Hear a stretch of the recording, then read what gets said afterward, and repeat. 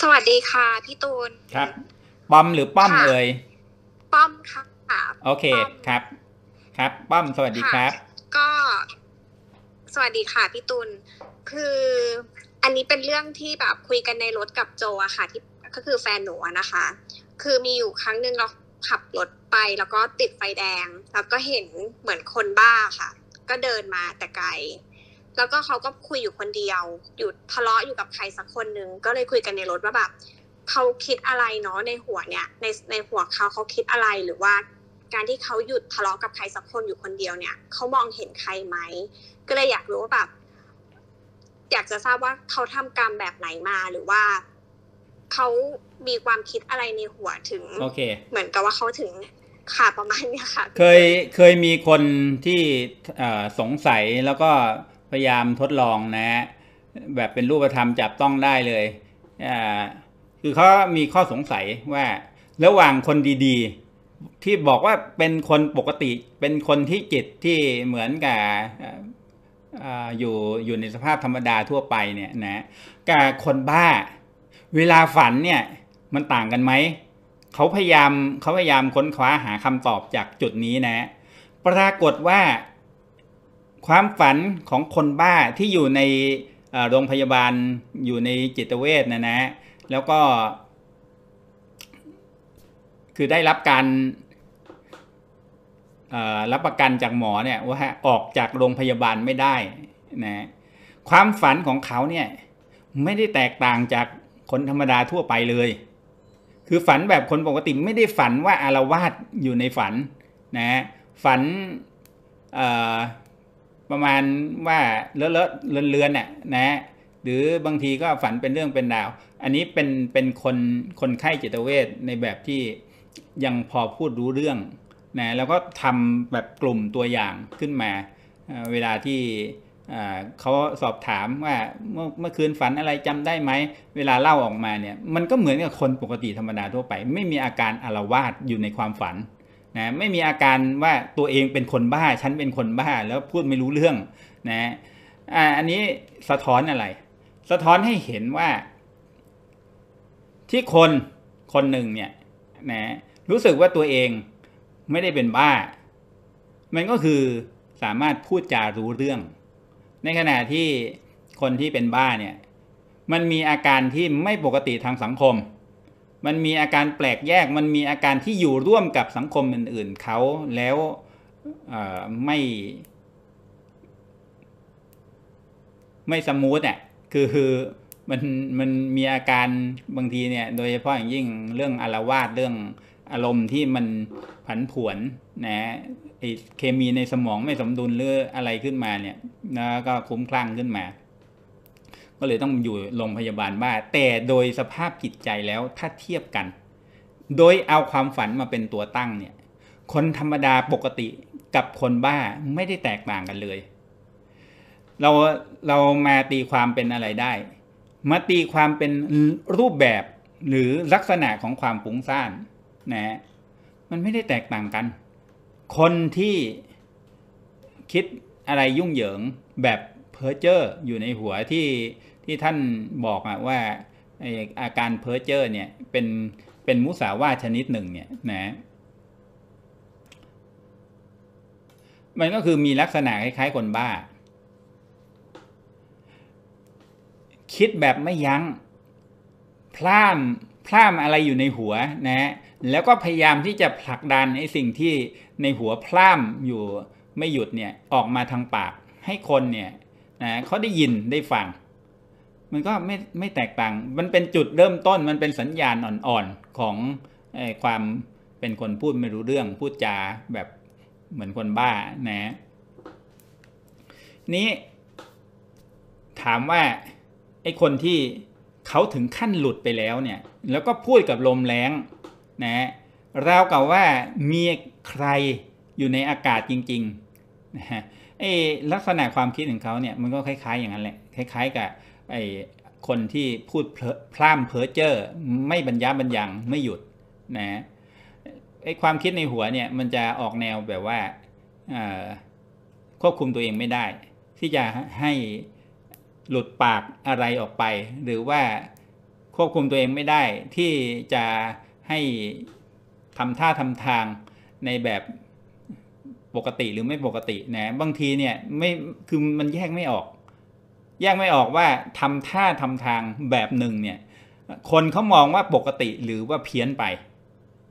ตัวเองเนี่ยณนะเวลาที่มันมีความรู้สึกนึกคิดแบบนั้นเนี่ยนะมันรู้สึกเป็นปกติปกติของตัวเอง แต่ไม่รู้ตัวว่านั่นน่ะมันเพี้ยนไปแล้วสำหรับสายตาของคนอื่น ถามว่าพวกนี้ทำกรรมอะไรมาก็เนี่ยอย่างที่บอกอะนะ เพิร์เจอร์บ่อย เพิร์เจอร์บ่อยจนกระทั่งมันเหมือนกับเป็นเผลอไปทำบาปหนักๆนะพูดลบลูสิ่งศักดิ์สิทธิ์พูดลบลูพระพุทธพระธรรมพระสงฆ์หรือว่าผู้ทรงคุณนะไปใส่ร้ายเขาแบบคือคือนึกว่าเขาเป็นอย่างนั้น นึกว่าเขาเป็นอย่างนี้ไม่ต้องเอาหลักฐานอะไรทั้งสิ้นเนี่ยไปพยายามพูด พร่ำว่าเฮ้ยให้ให้คนเชื่อว่าไอ้ผู้ทรงศีลนี่ไม่ได้ดีจริงนะอย่างในสมัยที่พระพุทธเจ้าท่านเคย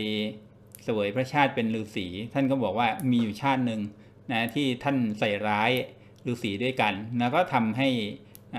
ท่านเนี่ยถูกใส่ร้ายคืนนะในชาติต่อๆมา แม้ในชาติ สุดท้ายก็ถูกนางจินจามานวิกาใส่ร้ายอะไรแบบนี้นะนี้เออาการใส่ร้ายผู้ทรงคุณเนี่ยมันมีผลหลายระดับมันไม่ใช่แค่ได้โดนคนเนี่ยใส่ร้ายคืนอย่างเดียว บางทีมีผลทางจิตใจทำให้จิตใจเนี่ยมันมันพลาดไปถ้าหากว่าผู้ที่เราใส่ร้ายเนี่ยเป็นผู้ที่ทรงศีลทรงธรรมจริงๆนะมันมันมีผลให้จิตใจฟุ้งซ่านจัด ย่างอย่างจะมีข้อหนึ่งที่พระพุทธเจ้าตรัสว่าการด่าทอหรือว่าติเตียนอริยะเจ้านะด้วยวาจาที่มันรุนแรงด้วยความคิดด้วยอารมณ์ที่มันเต็มไปด้วยโทสะเนี่ยผลคือนะที่ทันตาเนี่ยทำให้ฟุ้งซ่านจัดเหมือนเป็นบ้า เพราะอะไรเพราะว่าความคิดเวลาที่ไปทุ่มลงนะในการประทุษร้ายต่อผู้ทรงศีลเนี่ยมันเหมือนกับ เอาโคลนเอาอะไรเนี่ยนะ ที่มันสกปรกเนี่ย ไปแปดเปื้อนผ้าที่สวยๆ ที่ขาวสะอาดให้มีมลทินใช่ไหมจิตใจก็คือคือโลกภายนอกเป็นอย่างนั้น แต่จิตใจภายในก็เป็นเช่นนั้นเช่นกัน คือจิตไม่สามารถสะอาดขึ้นมาได้ มันมีแต่ความสกปรกแล้วก็หมกมุ่นอยู่กับไอ้เรื่องสกปรก พอหมกมุ่นอยู่กับเรื่องสกปรกมาก ๆ จนคุมตัวเองไม่ได้มันก็หลุดนะจากไอ้สภาพที่แค่พร่ำเพ้อเจ้อเฉยๆเนี่ยมันมันดิ้นไปพร่ำเพ้อเจ้ออยู่ข้างในหัวตลอดเวลาจนกระทั่งควบคุมตัวเองไม่ได้นะถ้าให้ผลในชาติอื่นๆเนี่ยมันก็จะมาในรูปแบบของการที่ชีวิตบีบคั้นด้วยปัญหาหรือว่า ปัจจัยประดังประเดอะไรเข้ามาเนี่ยในแบบที่ทำให้จิตมันหลุด ไม่สามารถทนต่อแรงกดดันรอบด้านได้ มันก็เลยเเกิดอารมณ์เหมือนกับเป็นบ้าขึ้นมา นอกจากเรื่องของการประทุษร้ายด้วยวาจานะที่พระพุทธเจ้าตรัสไว้เกี่ยวกับเรื่องของการเป็นบ้าเนี่ยก็คือเสพสุรายาเมานะผลของการเสพสุรายาเมา หรือเสพเสพยาอียาอะไรก็ตามยาบ้าเนี่ยนะชนิดหัวราน้ำชนิดที่ไม่สนใจเรื่องสตินะมันก็มีผลให้ได้เป็นบ้าเหมือนกัน อันนี้อยู่ในเรื่องของอผลลัพธ์การผิดศีลนะพระพุทธเจ้าตรัสไว้เกี่ยวกับศีลข้อ 5 เกี่ยวกับเรื่องของสุราเมรัยนะครับ ถ้ากินมากๆ แล้ว ถ้าไม่เป็นบ้าในชาตินี้ก็มีสิทธิ์ไปเป็นบ้าในชาติหน้าได้นะไอจะมีคนประเภทหนึ่งที่ถูกชะตาขีดไว้ตั้งแต่เริ่มเลยว่าเกิดมาเนี่ยนะ มันรู้สึกหนักๆหัว มันรู้สึกคิดอะไรดีๆ ไม่ออก มันรู้สึกเหมือนกับว่าฟุ้งซ่านจัดนะควบคุมตัวเองไม่ได้แล้วก็จะออกแนวแบบว่า พอคิดเนี่ยคิดคิดอะไรดีๆเนี่ยคิดไม่ออก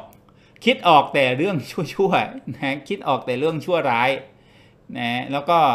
บางทีเนี่ยมันไม่ใช่เกิดผลแก่คนที่อยู่บนเส้นทางของความเลวอย่างเดียวนะ บางทีคนดีๆเนี่ยที่อยู่บนเส้นทางดีๆเนี่ยแต่พลาดเคยไป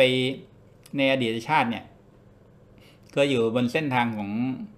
ไอ้ขี้เมาหัวราน้ำ แล้วก็เคยอารวาสเคยใช้อารมณ์แบบคนเมาเนี่ยนะไปก่อความเดือดร้อนให้คนอื่นทำให้คนอื่นเนี่ยเขาอยู่ไม่เป็นสุข ลองนึกถึงคนขี้เมาอะ มันทำอะไรบ้างนะมันเออาโวยวายมันเหมือนกับพูดจากับใครเขาไม่รู้เรื่องแล้วก็รบกวนจิตใจเขาเขาบอกว่าเฮ้ยเมาแล้วก็ไปนอนไม่ยอมนอนนะจะตะบี้ตะบันพูดต่อให้เขาเนี่ยเกิดความทุกข์ให้ได้ ให้เขาเนี่ยเกิดความ รู้สึกว่าข้านี่เป็นใหญ่ที่สุดในโลกเป็นศูนย์กลางจักรวาลให้ได้ เนี่ยประเภทเนี้ยนะเกิดใหม่เนี่ยมันก็จะมีลักษณะความคิดที่ควบคุมไม่ได้เหมือนกัน หรืออย่าง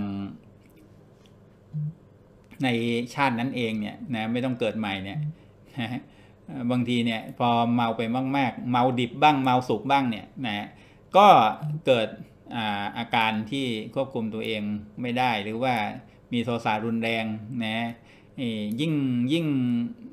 แก่ตัวลงสภาพแบบนี้เนี่ยมันก็ยิ่งหนักหนาสาหัสขึ้นเรื่อยๆนะครับอะโอเค ป้อมพี่ตอบคำถามไหมค่ะขอบคุณมากเลยค่ะกระจ่างเลยค่ะครับขอบครับคุณมากๆค่ะพี่ตูนครับ